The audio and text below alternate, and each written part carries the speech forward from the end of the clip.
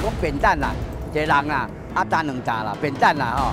所以讲，什么边啊人拢介好，也介有钱啊。相传陵园旧部落是一个扁担穴的好地理，街道两端低，中间高，就像是一只扁担挑着箩筐，是绝佳的地理风水。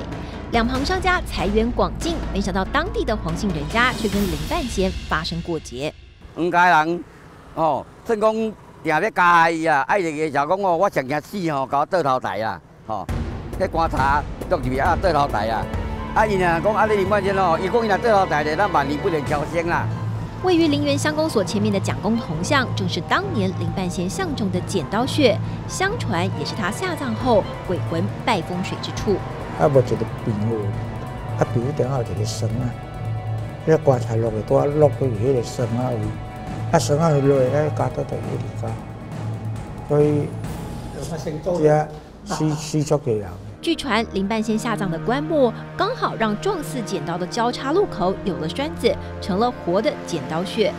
两边的道路就像是两片利刃，剪的陵园街道两边家破人亡，一连串的天灾人祸、瘟疫接踵而来，死了将近上千人。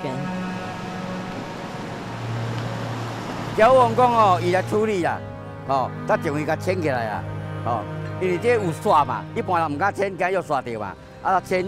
但是你在抓这个呀啦。然而林半仙虽然迁葬，他的怨灵却依旧徘徊在陵园街道。当地人想了各种方法来镇煞。民国四十五年时，林半仙下葬处附近一度车祸频传，乡公所人员赶紧在墙壁上高挂蒋介石的照片，之后更用蒋公铜像来镇煞。然而灾难真的就此平息吗？啊，所以当兄弟啊，就是讲哦，伊定义抓啊，为灵哦。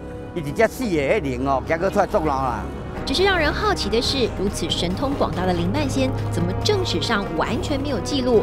当地的耆老跟文史工作者却对这段历史深信不疑。依然那的堆查海啊，应该是这个人。人没有记载，但是这两百几档的代志拢一直传说落来，大拢知有这个人啊。阮厝边头一个老古老人，阮若大雨过了。阮就拢看即个老古人哦，啊，拢伫伊迄店啊，拍甲拢全全迄古籍啦，或啊是迄书籍安尼啦。听人讲，迄就是林半仙所传来的秘籍啦。可惜的是，这批口耳相传记录的古书没有流传下来。更让文史工作者感到奇怪的是，从剪刀穴迁葬之后的林半仙尸骨到哪里去了呢？有一间半仙庙。